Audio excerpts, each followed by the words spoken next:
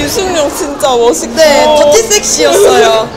아 그리고 영화 진짜 재밌어요. 네, 막 진짜 지- 꼭 지- 보셔야 돼요. 네, 진짜 네. 시간 가는 줄 몰랐고 친구 완전 네, 짱이에요. 배우분들 연기 진짜 짱이었어요. 긴박감이 넘치는 영화였고요. 유승용 씨 복근이 너무 멋있었던 것 같아요. 배우들 연기가 정말 좋았고요. 반전이 정말 대단한 것 같아요. 또 봐도 재밌을 영화 같아요.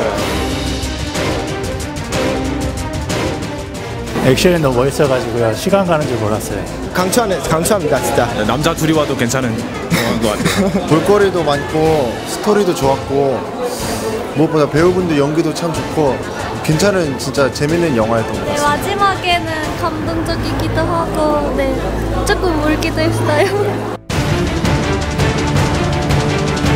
중간중간에 나오는 반전들이 진짜 정말 신선한 충격을 줬고요. 네, 정말 재밌게 봤습니다. 액션씬 진짜 짱이에요. 어, 제자하고 둘이 이거 보러 왔거든요. 짱이에요. 재밌어요. 재밌어요, 진짜 짱 짱. 초반부터 되게 박진감 넘쳤었던 것 같고요. 역시 기대했던 대로 대박이다. 표정 정말 재밌었고요. 기대 이상이에요. 정말 꿀잼.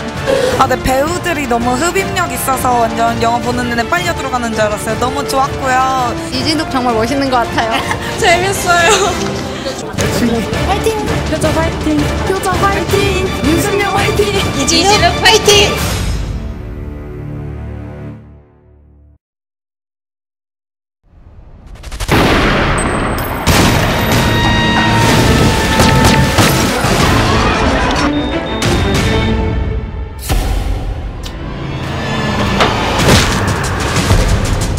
도대체 뭐라는 게 뭡니까? 13번 환자 병원 밖으로 데리고 나와.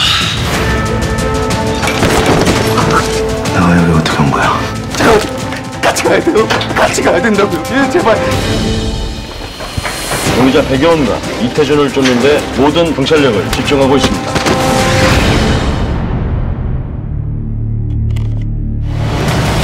당신 안에 쳤죠. 이 사람들 누군가에게 쫓기고 있어요.